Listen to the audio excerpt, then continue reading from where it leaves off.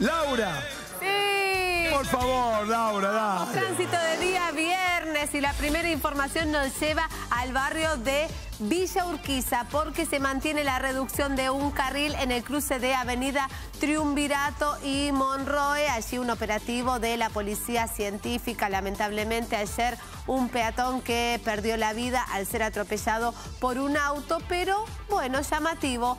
Sigue la reducción de uno de los carriles seguramente por el trabajo de peritaje, reitero, en el cruce de Avenida Triunvirato y Monroe. Además, tenemos un choque en Avenida Santa Fe y Avenida Pueyrredón. Paciencia porque chocaron dos vehículos, está trabajando la policía de la ciudad, también acudieron al lugar las ambulancias del SAME, está complicadísima Avenida Santa Fe a esta hora de la mañana y claro, rojo furioso en las principales arterias porteñas. Así está la 9 de julio, principalmente en la zona del obelisco. Mucho tránsito en el barrio de Retiro por Avenida Alem y Avenida del Libertador. Así está Avenida Entre Ríos y su continuación Callao. Y desde bien temprano está imposible Avenida Poirredón si tenés que circular por la zona de Plaza Miserere. De hecho, a esta hora de la mañana el Waze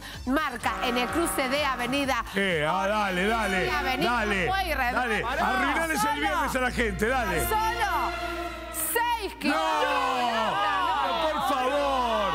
Y con eso- pero así, así se, Ahí se sí. te mueve un músculo, lo decís. Ah, Ahí sí que sube la temperatura, ¿eh? Tremendo, tremendo cómo está el tránsito en la zona de 11. Paciencia. Así es. ¿Bocinazo o grito? ¿Qué gana? De todo, ¿eh? Bocina, grito, ¡eh, dale, muerto, avanzá, eh! Sí, no, no, no. Así, la gente está muy alterada, estados alterados en el tránsito. Hay que hacer yoga antes de salir a la calle.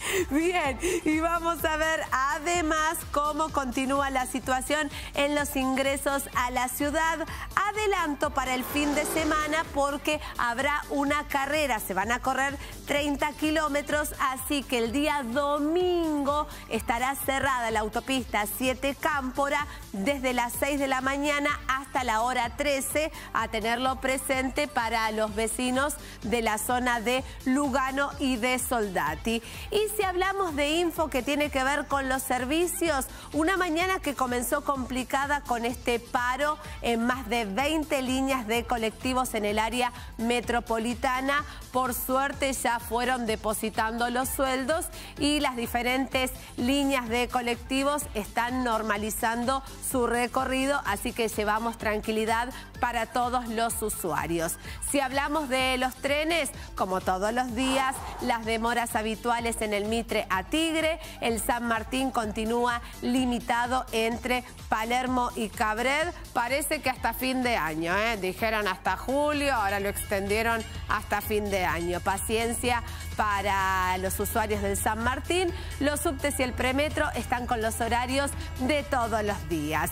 Si te parece, Nacho, en un ratito chiquitito así, repasamos los cortes del día. Así es, Laura, muchísimas gracias. Eh, a las 10 y 37 nos ponemos en los temas que vamos a tratar el día de hoy. Por supuesto, a mí me encantaría hoy